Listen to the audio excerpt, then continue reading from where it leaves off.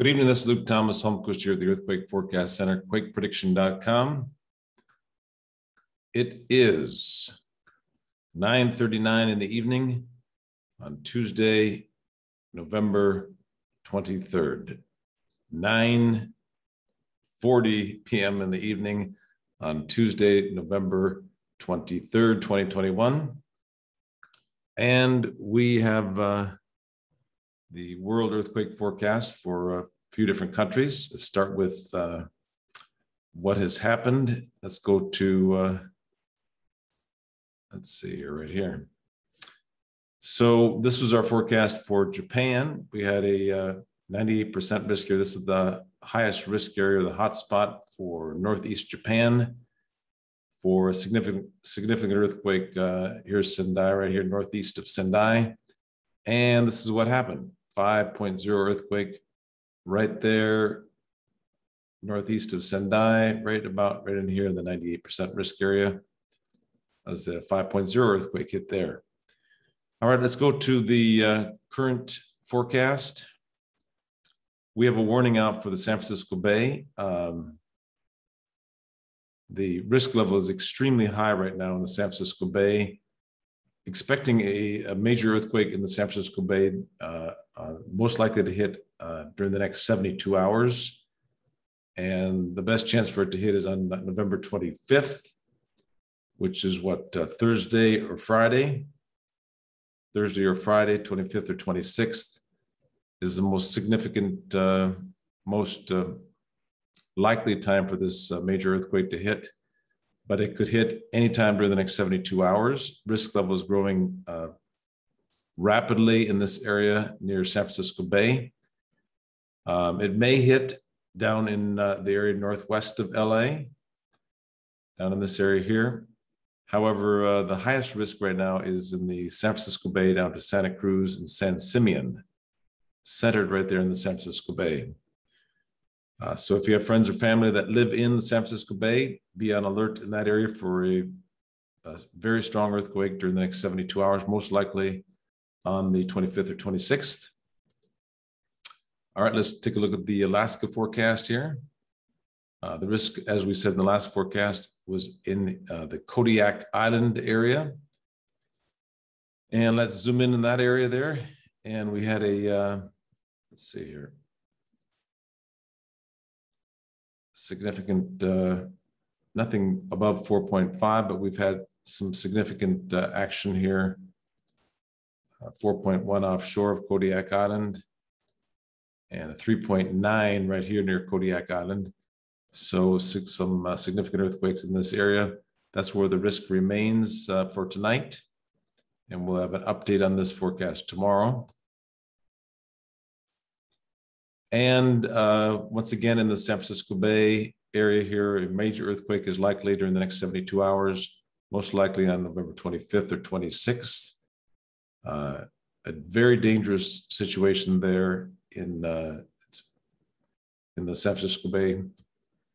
Uh, the data that's coming in is uh, rarely happens. It's, it's rarely happens. You see that kind of uh, magnetic shift in that area. So, so expecting a very strong earthquake in the San Francisco Bay during the next 72 hours. Let's take a look at the uh, forecast for Japan. And the risk is shifted down into the Tokyo area. And um, we could get about a 5.0 earthquake in the uh, Tokyo region. Let's look at the four uh, so could get a uh, 5.0 large earthquake in the Tokyo Bay, uh, the Tokyo uh, Chiba area up to Ibaraki down to Shizuoka here, most likely in the uh, Tokyo area. during the next about 48 hours, the 24th or the 25th, and it's already in the afternoon of the 24th over there right now. So expecting something significant in the Tokyo area in the next 48 hours and then the pretty high risk offshore on the 25th into the 26th. So we'll watch for that to happen during the next uh, 48 hours or so. And over in Italy, the risk is here in central east central Italy, very high risk in Umbria, Perugia, east central uh, Italy during the 24th and the 25th.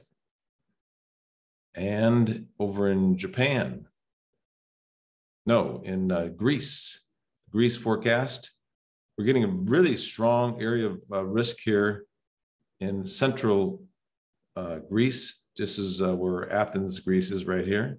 So southeast of Athens, this area right here from Western Turkey over to uh, Athens. There's this area here, uh, extremely high risk in that area in central Greece.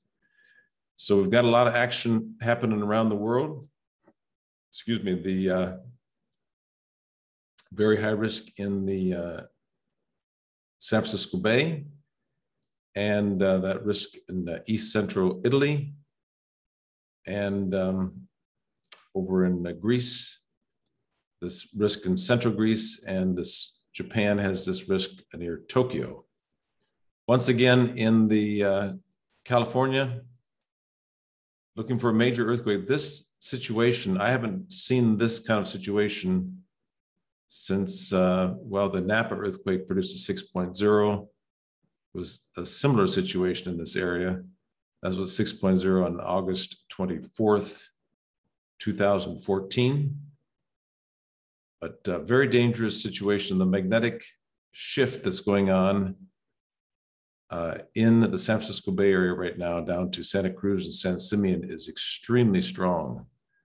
So be on alert in San Francisco Bay for a strong earthquake during the next uh, 48 hours, 72 hours, most likely on the uh, 25th or the 26th. All right. Thanks again for your support here at quakeprediction.com, the Earthquake Forecast Center. We have 184,000 followers now on uh, Facebook, YouTube, and Twitter. And we have been researching this for almost 17 years, 16 years total, and going into the 17th year starting in uh, December. So thank you so much for your support. And um, We've used many different forecast models in the past. The forecast model that we were using in Japan has been working extremely well. So we're using that forecast model now in California, Alaska, Italy, and Greece. So we're getting more and more accurate every day. 16 years of research, 184,000 followers. Thank you to every one of you. And we will keep you updated. The, uh, the most significant and serious situation right now is the area southeast of Athens, Greece very high risk in that area. And also the, uh, the most dangerous situation right now is in the San Francisco Bay to Santa Cruz and San Simeon, where the entanglement of the magnetic field is extremely strong. Um, and that needs to release. And when that uh, magnetic field releases, it produces a very strong earthquake.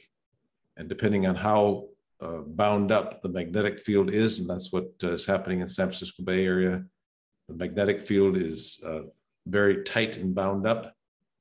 Um, similar to a sunspot on the sun, you have that magnetic field is tangled, and when the magnetic field uh, breaks, it creates a solar flare. Well, the same thing on Earth, when that magnetic field releases, you'll get a strong earthquake. So strong earthquake is likely in the San Francisco Bay during the next 72 hours, most likely on November 25th or November 26th. Stay tuned and check over at our website, quakeprediction.com, for more details. And we'll talk to you tomorrow. Thank you so much again. This is Luke Holmquist at quakeprediction.com, the Earthquake Forecast Center. Stay safe, everybody.